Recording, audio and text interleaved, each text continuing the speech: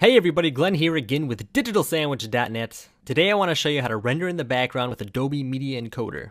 So as you know, in After Effects, when you're rendering, you can't really do anything else. You have to wait until it's finished, and that gets kind of annoying, right?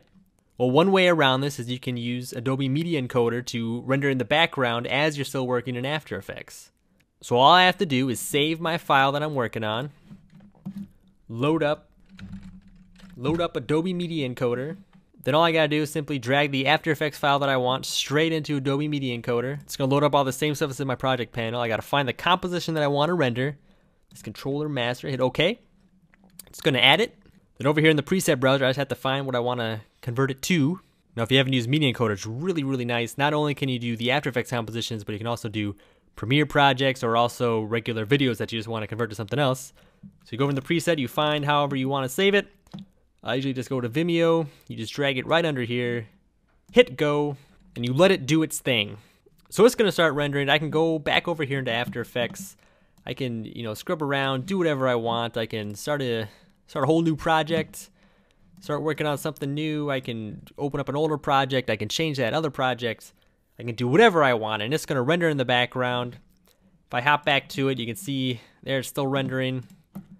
So how this works is all these Adobe programs talk to each other and work together to figure out the best way to split up your, your system's RAM and memory.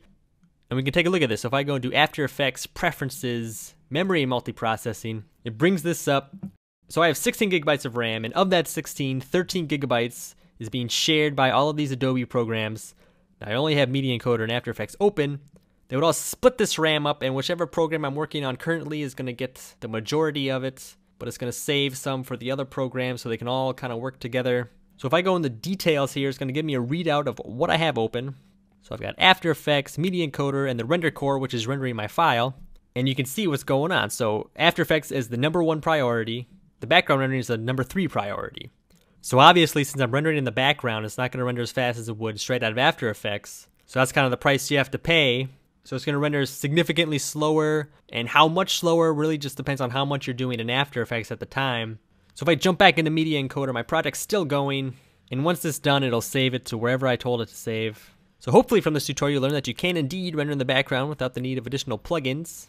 Now again, this isn't good for every situation. If you're under a real-time crunch, I would not suggest doing this. Just do it straight out of After Effects. I mean, you can't do anything else, but it will render faster. So for DigitalSandwich.net, this is Glen with background rendering with Adobe Media Encoder.